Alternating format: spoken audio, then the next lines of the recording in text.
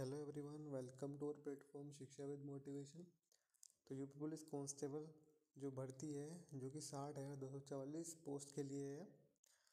तो उसके एग्ज़ाम से रिलेटेड एक अपडेट है, एक नोटिस है, जो वायरल हो रहा है। और ये पर्टिकुलर नोटिस देख सकते हैं आप, छब्बीस दिसंबर दो हज़ार तेईस का है। डिटेल में बात करेंगे डिटेल में जानेंगे। बट अगर आप हमारे प्लेटफॉर्म पर नहीं हैं तो चैनल को सब्सक्राइब ज़रूर करें।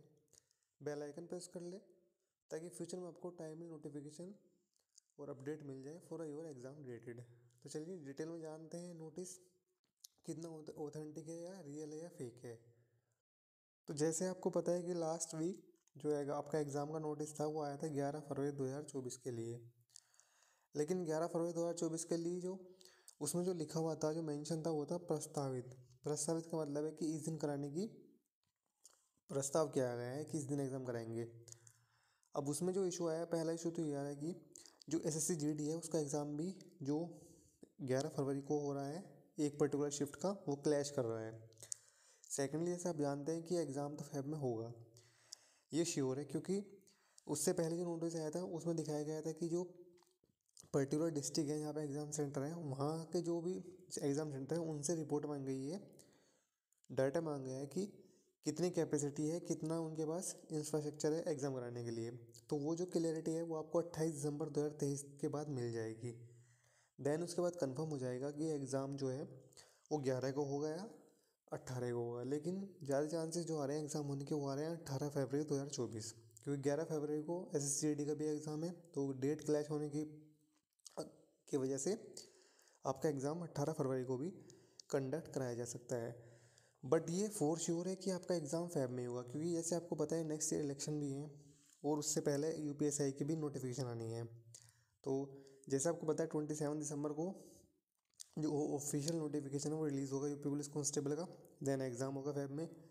उसके बाद आप देखेंगे कि यू पी एस आई का वैकेंसी भी आनी है देन उसका भी एग्ज़ाम होना है इलेक्शन से पहले। तो इस वजह से आपका एग्ज़ाम तो फेबर में कंडक्ट होना है, ये तो फोर श्योर है। डेट की कंफर्मेशन आपको हंड्रेड परसेंट जो श्योरिटी है, वो ग्यारह या अट्ठारह में से कब, वो आपको अट्ठाईस दिसंबर तक कंफर्म हो जाएगी। बट ज़्यादा चांसेस जो आ रहे हैं, वो अट्ठाईस अट्ठारह फरवरी के जो है, ज़्यादा चांसेस आ रहे हैं एग्ज़ाम होने के। अगर हम इस पर्टिकुलर नोटिस की बात करें तो दिनांक छब्बीस दिसंबर दो हज़ार तेईस का नोटिस है। इसमें लिखा है कि बोर्ड के समकक्ष का अनुकूलन करने का संगठन करेगी, जिसके द्वारा आरक्षी पुलिस के लगभग साठ हज़ार पदों पर भर्ती के लिए दिनांक ग्यारह दो हज़ार चौबीस को पूरे प्रदेश में एक साथ एक ही पाली में ओ एम आर बेस लिखित परीक्षा कराए जाने का उल्लेख किया गया था तथा इसके लिए संघ लोक सेवा आयोग, उत्तर प्रदेश लोक सेवा आयोग, उत्तर प्रदेश अधिनियम सेवा आयोग, चयन तथा उत्तर प्रदेश पुलिस भर्ती बोर्ड द्वारा पूर्व में कराई गई जो परीक्षाओं के आधार को आपके जनपद में चिन्हित परीक्षा केंद्रों की सूची संकलन करते हुए उसमें अंकित परीक्षा केंद्रों की उपयुक्तता एवं उन परीक्षा केंद्रों द्वारा उपयुक्त दिनांक ग्यारह दो दो हज़ार चौबीस को कराए जाने के संबंध में उनकी सहमति तथा उनका विवरण निर्धारित किए गए प्रारूप से दिनांक अट्ठाईस बारह दो हज़ार तेईस तक बोर्ड को उपलब्ध कराए जाने की अपेक्षा की गई है। जैसे मैंने बोला, अट्ठाईस दिसंबर तक फाइनल हो जाएँगे जितने भी एग्ज़ाम सेंटर होंगे, जो भी डिफरेंट डिफरेंट डिस्ट्रिक्ट में हैं, क्योंकि आपका एग्ज़ाम एक दिन एक ही पाली में होगा। पूरे स्टेट में मतलब एक दिन में सारी एक ही शिफ्ट में आपका एग्ज़ाम करा लिया जाएगा। वो डे बाय डे शिफ्ट वाला सिस्टम इस बार इसमें नहीं अप्लाई होगा। आगे इस नोटिस में लिखा है, उक्त में आपसे अपेक्षा की जाती है कि पूर्व में प्रेक्षित की गई परीक्षा केंद्रों की दिनांक अट्ठारह दो दो हज़ार चौबीस को भी उपलब्धता, उपयुक्तता एवं उन परीक्षा केंद्रों द्वारा उपयुक्त परीक्षा कराए जाने के संबंध में उनकी रिक्त तिथियों का समय तथा उनका विवरण निर्धारित करने के स्वरूप दिनांक इकतीस बारह तक इस बोर्ड को उपलब्ध कराने का जो है कष्ट करें। इस संबंध में यह भी अनुरोध किया जाता है कि विवरण भेजें। समय यह स्पष्ट अंकित किया जाता है कि कौन से केंद्र दोनों तिथि ग्यारह एवं अठारह। नोट करने वाली बात है कि ग्यारह एवं अठारह के लिए उपलब्ध कराए एवं सहमत हैं तथा कौन से परीक्षा केंद्र दिनांक केवल ग्यारह के लिए एवं कौन से परीक्षा केंद्र केवल दिनांक अट्ठारह के लिए उपलब्ध हैं। का भी एग्ज़ाम है। अब अब डिस्ट्रिक्ट लेवल पे जो भी एग्ज़ाम सेंटर ग्यारह को अवेलेबल रहेंगे और अट्ठारह को अवेलेबल रहेंगे, दोनों को डाटा मांगा है।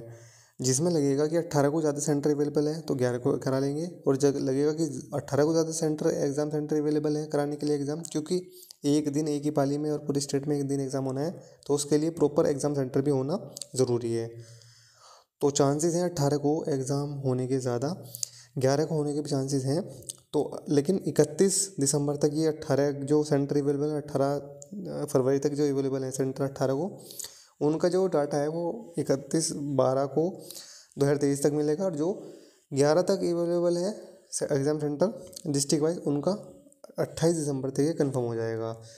देन उसके बाद डिसीज़न लिया जाएगा कि अट्ठारह एक फरवरी को एग्ज़ाम होगा या फिर ग्यारह फरवरी को एग्ज़ाम होगा। बट एग्ज़ाम फेब में ही कंडक्ट होना है, ये हंड्रेड परसेंट श्योर है। तो आगे कोई भी अपडेट होती है तो आपको वीडियो के थ्रू मिल जाएगी। तो उसके लिए आपको चैनल को सब्सक्राइब कर लेना है बेल आइकन प्रेस कर लेना है।